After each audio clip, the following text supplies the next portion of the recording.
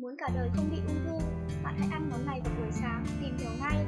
Đây là thực phẩm vừa quen thuộc lại rẻ tiền, mà đặc biệt tốt cho sức khỏe cả nhà. Ngô là thực phẩm có sẵn quanh năm, với giá trị dinh dưỡng không thể bỏ qua trong chế độ ăn uống hàng ngày. Ngô, bắp có vị ngọt và là loại cây dễ trồng, khả năng thích nghi cũng như chống chọi sâu bệnh, thời tiết khắc nghiệt khi chế biến cùng các thực phẩm khác. Giá trị dinh dưỡng của ngô dễ bị mất đi biến đổi, không tốt cho sức khỏe con người. Ngô lược đơn giản nhưng là một loại thực phẩm ngũ cốc nguyên hạt và cũng có khi được coi như rau. Trong hạt ngô có chứa rất nhiều chất beta-carotene, một loại carotenoid có tác dụng chống oxy hóa, giúp ngăn ung thư phổi hiệu quả. Một nghiên cứu kéo dài nhiều năm ở 63.000 người trưởng thành tại Trung Quốc cho thấy những người có chế độ ăn nhiều beta-carotene giảm được 27% 35.000 người tham gia cho biết những người ăn thực phẩm nguyên hạt như ngô giảm được đáng kể nguy cơ ung thư vú. Lý do là trong bắp ngô có chứa hàm lượng cao chất xơ cũng như chất chống oxy hóa, giúp bảo vệ tế bào khỏi bị ung thư.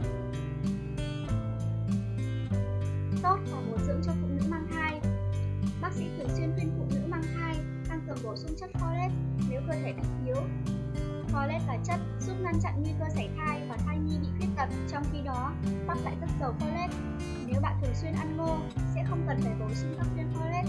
Nó sẽ giúp cơ thể thai nhi tổng hợp tế bào mới và khỏe mạnh. Giảm nguy cơ mắc bệnh tim mạch, bắp có nhiều chất xơ không hòa tan và hòa tan.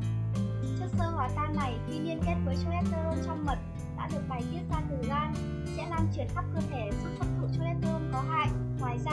lượng vitamin B trong bắp cũng làm giảm homocysteine. Vì homocysteine trong cơ thể cao sẽ phá hủy các mao mạch dẫn đến nhồi máu cơ tim. Đột quỵ, một bắp ngô mỗi ngày sẽ cung cấp cho cơ thể 19% lượng vitamin B cần thiết mỗi ngày. Tốt cho mắt Bắp ngô cũng rất giàu beta-carotenoid và folate. Đây là hai chất này giúp làm chậm quá trình suy thoái điểm vàng liên quan đến tuổi tác. Beta-carotenoid trong bắp ngô khi đi vào cơ thể sẽ chuyển thành vitamin A với tỷ lệ cao hơn so với những loại rau củ khác. Vitamin A rất cần thiết để có một đôi mắt sáng đẹp. Màu sắc khác nhau của ngô cũng đem lại những lợi ích sức khỏe khác nhau. Chủ yếu là bởi vì chúng chứa các sắc tố không giống nhau so với ngô trắng ngô vàng có chứa nhiều